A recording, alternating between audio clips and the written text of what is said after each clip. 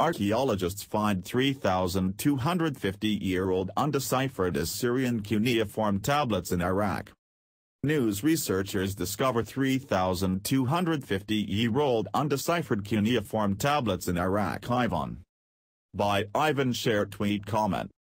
Excavations in Iraq have yielded incredible results as archaeologists have recovered what they believe are undeciphered 3,250-year-old clay tablets.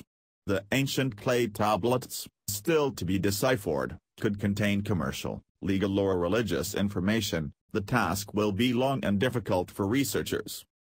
A team of archaeologists from the University of Tübingen, Germany, led by Peter Pfälzner, has discovered a collection of 93 clay tablets with cuneiform writing at the archaeological site of Bassetki, dating from the Bronze Age and located in the Kurdistan region, in northern Iraq. The agency said yesterday. 60 of the valuable records had been deposited in a ceramic pot which was presumably used for clay tablet storage, the archaeologists said.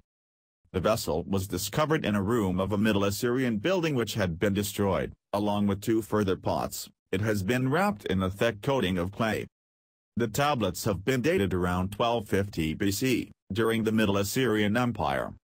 According to archaeologists, 60 of these tablets were deposited in a ceramic vessel that was probably hidden after the destruction of a contiguous building. The information may have been concealed with the intention of protecting it and preserving it for posterity, says Pfälzner. Our philologist, Dr. Betina Faist, has deciphered a small fragment of clay tablet, which mentions a temple dedicated to the goddess Gula so that the context could be religious in nature. I hope the texts will yield a wide variety of detail about the history, society, and culture of this little researched area of northern Mesopotamia in the second millennium BC, he added. So far, archaeologists have made images of the clay tablets on a computational photographic method, which enables interactive relighting of the objects from any direction, reports the University of Tübingen. The intense work of reading and translating the 93 cuneiform tablets will begin in Germany, now that the team has returned home.